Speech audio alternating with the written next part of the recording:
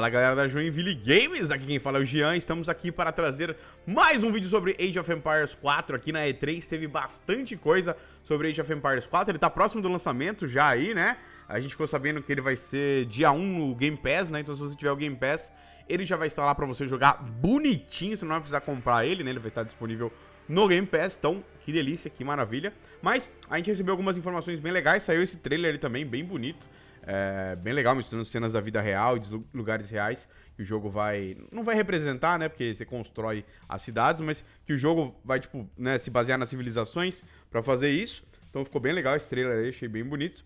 E outras coisas que eles, falaram que vocês vão ver um pouco mais pra frente aí, que vão ter algumas cenas que teve um overview que eles chamam, né? Que são os próprios devs é, conversando sobre algumas das mecânicas que foram implementadas no Age of Empires 4, né? Então, uma das coisas que eles falaram bastante é que eles estão realmente tentando deixar o Age of Empires 4 o mais próximo possível que eles conseguirem do Age 2, né? Como se fosse uma evolução do Age 2, que é o jogo que a galera mais cultua.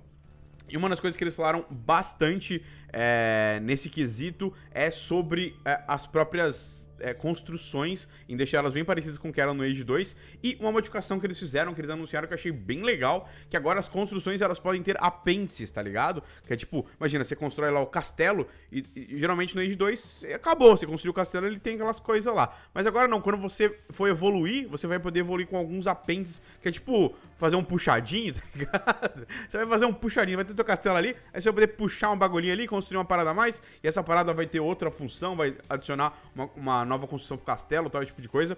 Isso eu achei bem legal. É, outra coisa que eles falaram também bastante é sobre a batalha naval que vocês estão vendo aí, que foi um pouco modificada. Pode ver que tem uma mira agora, tá vendo? E isso mostra aonde que o tiro é... Qual é o ângulo preciso que o seu barco precisa estar para acertar quanto ele vai dar mais de dano quando estiver mais próximo ao meio, se eu não me engano. Então tem um monte de coisas que eles modificaram porque disseram que a batalha naval era pouquíssimo usada no Age 2 e eles quiseram adicionar ela, só que de um jeito que a galera conseguisse usar mais, né? Então bem legal essa nova mecânica também e um foco sobre o modo história, né, que é sempre legal nos Ages, conta sempre a história aí bastante do mundo, né, através do, das missõezinhas de gameplay lá que são bem divertidas.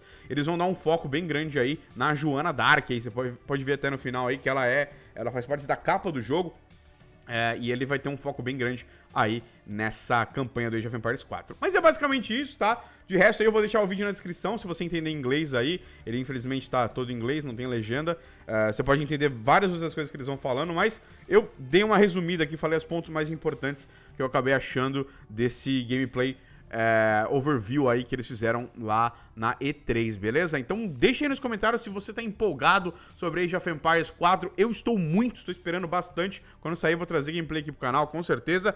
Mas também não esqueça de deixar aquele joinha maroto para ajudar a gente na divulgação. Não esquece de seguir as nossas redes sociais e também não esquece de se inscrever no canal, clicar no sininho e acompanhar todo outro conteúdo aqui no canal da Joinville Games, beleza? Então é isso aí, vou ficando por aqui. Um abraço para todo mundo e também...